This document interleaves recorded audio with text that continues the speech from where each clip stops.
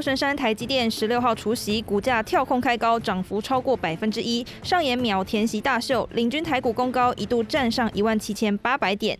联电、力基电同步走阳，但随后卖压出笼，中场涨幅收敛到百分之一内。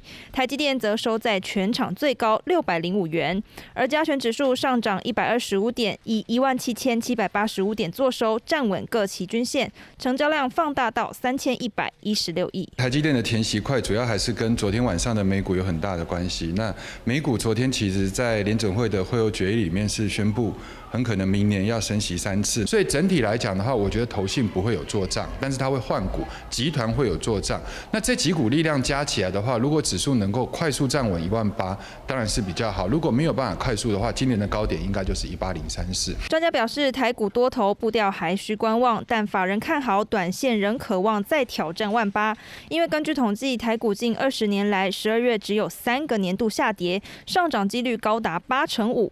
加上配合年底做账，启动做梦行情，投资人对台股不必太过悲观。殖利会到四点八左右，那四点八全世界所向无敌啊！你就知道说，台股现在表乍看之下，你会觉得一万七、一万八是高处不胜寒，但是台股的底蕴是深的，也就是说，台股现在如果你深究它基本面。